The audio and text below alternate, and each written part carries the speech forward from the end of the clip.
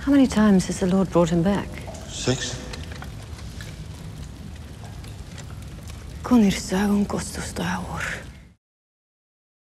Hey YouTubers, it's Charlie. This is going to be my Game of Thrones Season 6 foreshadowing video. Just all my favorite times that the show foreshadowed some big WTF event that hadn't happened yet. Just careful for spoilers for everything that's happened on the show so far, and there is a new round of the giveaway this week. We're still doing the DVD giveaway, which is actually dropping in the next week and a half, so we might see the first trailer then. But all you have to do to enter is be a subscriber and leave a comment on this video.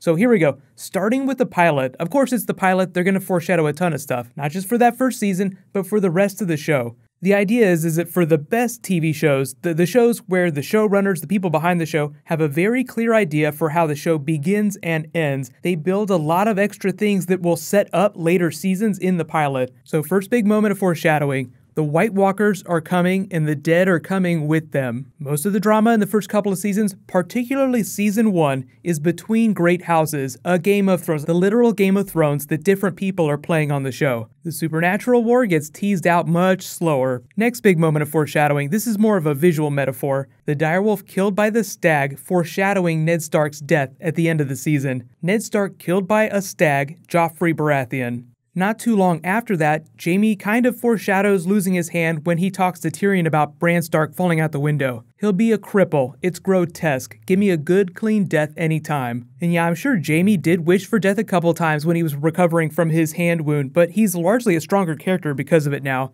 This next one is a little more literal Melisandre burning the leeches for Stannis. She speaks the names Robb Stark, Joffrey Baratheon, and Balon Greyjoy.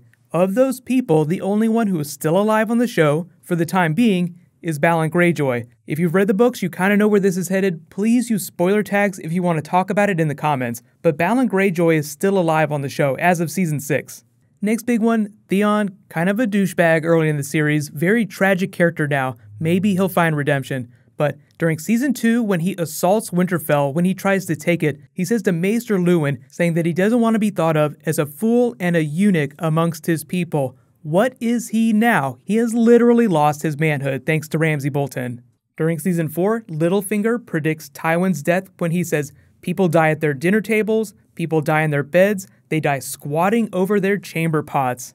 Next one, also really awesome Littlefinger moment when he's talking to Sansa in the crypts of Winterfell. She's standing at the statue of her aunt Lyanna, remembering her, and Littlefinger tells her the story of the tourney at Harrenhal when Rhaegar crowned Lyanna over his wife Elia Martell with the blue roses. Sansa replies with, "Yeah, but Rhaegar kidnapped and raped my aunt." And Littlefinger just tweaks his head a little bit and says, "Did he?" as if he's asking a question. Now, each character on the show probably has their own idea about what happened between Rhaegar Targaryen and Lyanna Stark, but this is the show just foreshadowing that maybe Rhaegar and Lyanna had a relationship together. Maybe they had a secret baby together. So this is one in a couple different moments that foreshadow R plus L equals J.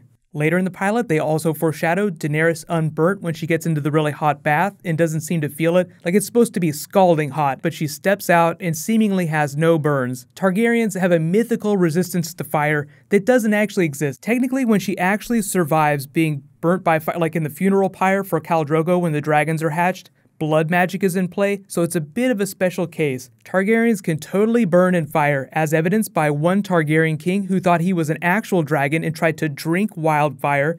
There was also the tragedy at Summerhall that killed Egg from the Dunk and Egg series. So Targaryens can totally burn unless magic is in play. If they did want to prove that Daenerys was fireproof, though, they could totally have her stand right in front of Drogon and have him just open up. That would be so hilarious. Just take a bath in fire like it's no big deal. This next one's a fun one, too. Weddings on Game of Thrones are always a terrible idea. Do not get married on Game of Thrones.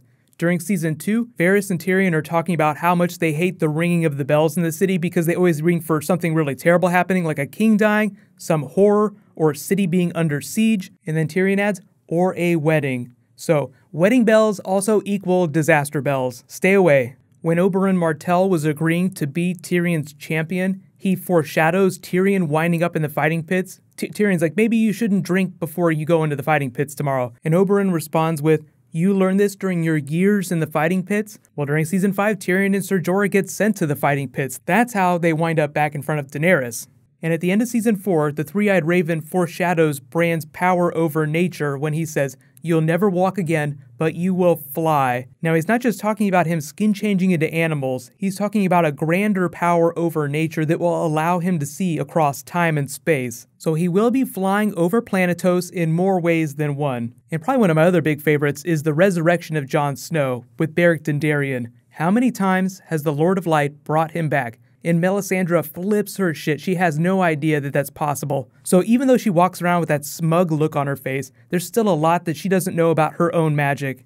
So let me know in the comments what is your favorite moment of foreshadowing on Game of Thrones, either for a specific moment or something that's going to happen way later in the series. Sometimes they're really subtle, like with the stag and the direwolf. Sometimes they're a little more literal, like with Melisandre's leeches. I definitely think my favorite is either a tie between Lyanna Stark and the Crypts or Beric Dondarrion being brought back six times.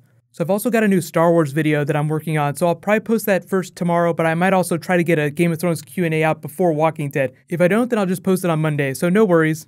While you guys wait for that to post, you can click here for the Game of Thrones Season 6 behind the scenes video, and you can click here to learn a little bit more about Resurrection on Game of Thrones in A Song of Ice and Fire. Thank you so much for watching, everybody. Let's high five. I'll see you guys tonight.